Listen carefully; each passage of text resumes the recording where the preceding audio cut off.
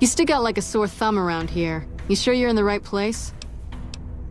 But here's this guy, who's an elite commander in their army and he just gives himself up, even as his men are slitting their own throats around him. I like the way you think. Have I said that yet?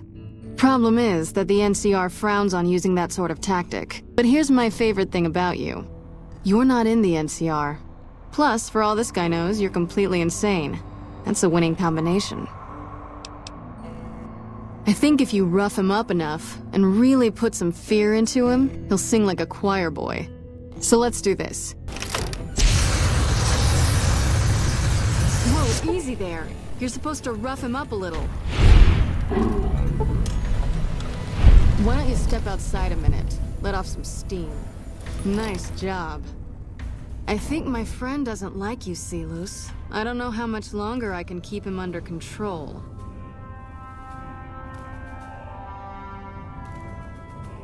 Oh, baby.